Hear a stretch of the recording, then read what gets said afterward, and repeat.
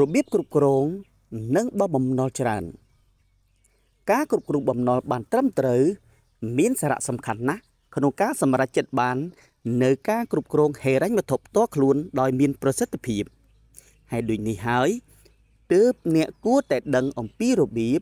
ឬក៏វិធីសាស្ត្រក្នុងការគ្រប់គ្រង ឬក៏ទូទាត់បំណុលឲ្យបាន ត្រឹមត្រូវជំហានទី1ត្រូវកំណត់ទំហំបំណុលចូលទាញប៊ិច ទាញសិភៅទូរស័ព្ទឬក៏កុំព្យូទ័រមកកត់ត្រារាល់បំណុលទាំងអស់ដែលអ្នកមាននៅក្នុងតារាងមួយបូករួមទាំងព័ត៌មាននៃបំណុលទាំងអស់នោះមានដូចជា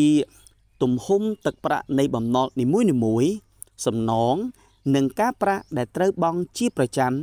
នៃបំណុលនីមួយៗជំហានទី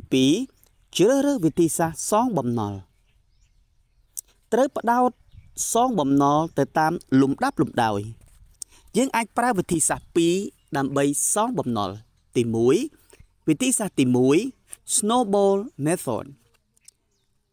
វិធីសាស្ត្រនេះគឺផ្ដោតទៅលើ ការដោះបំណុលដែលមានទំហំទឹកប្រាក់តិចជាងគេមុននឹងធ្វើឲ្យអ្នកមានកម្លាំងចិត្តឡើងវិញនៅពេលដែលអ្នកឃើញ ចំនួនបំណុលរបស់ខ្លួនកាន់តែតិចទៅតិចទៅរីឯវិធីសាស្ត្រទី2នោះ គឺជាវិធីសាស្ត្រ Advanced Method គឺជាការដោះបំណុលដែលមានអត្រាការប្រាក់ខ្ពស់ជាងគេមុន ដែលវិធីសាស្ត្រនេះផ្ដោតទៅលើការរលាស់ខ្លួនចេញពីការបង់ការប្រាក់ខ្ពស់ឲ្យកាន់តែឆាប់រហ័សវិធីសាស្ត្រទី3កំណត់ទឹកប្រាក់សម្រាប់សងបំណុលរៀងរាល់ខែបន្ទាប់ពីផាត់ចំណាយ ចាំបាច់រួចហើយ អ្នកក៏ត្រូវកំណត់ទំហំប្រាក់ដែលអ្នកគួរសងបំណុលដោយពិចារណាថា គួរសងបំណុលណាមួយមុនគេ រវាងបំណុលអត្រាការប្រាក់ខ្ពស់ជាងគេ ឬក៏បំណុលដែលមាន ប្រាក់ដើមតិចជាងគេដូច្នេះដើម្បីគ្រប់គ្រងបំណុលឲ្យបានល្អអ្នកគួរតែមានតារាងដោះបំណុលឬក៏សិភៅដោះបំណុល ដែលអនុញ្ញាតឲ្យអ្នកអាចតាមដាន និងកណន័យជាប្រចាំ នៅទំហំបំណុលថាតើ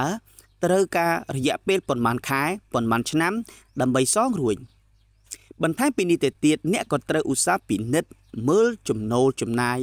របស់ខ្លួនជាប្រចាំ ដើម្បីឲ្យអាចកែតម្រូវនៅចំនួនទឹកប្រាក់សងបំណុលប្រចាំខែឲ្យបានត្រឹមត្រូវ និងមានភាពបត់បែនទៅតាមស្ថានភាពជាក់ស្ដែង ជាពិសេសនោះការផ្លាស់ប្ដូរនៃស្ថានភាពហិរញ្ញវត្ថុផ្ទាល់ខ្លួនរបស់អ្នកត្រូវចាំថាកម្ចីតិចកើតជាបំណុលកម្ចីច្រើនកើតជាសត្រូវបើបងប្អូនយល់ថាវីដេអូនេះមានសារៈសំខាន់និងមានប្រយោជន៍សូមជួយ like និងជួយ share ទៅកាន់មនុស្សជាទីស្រឡាញ់របស់យើងទៀតផង សូមអរគុណ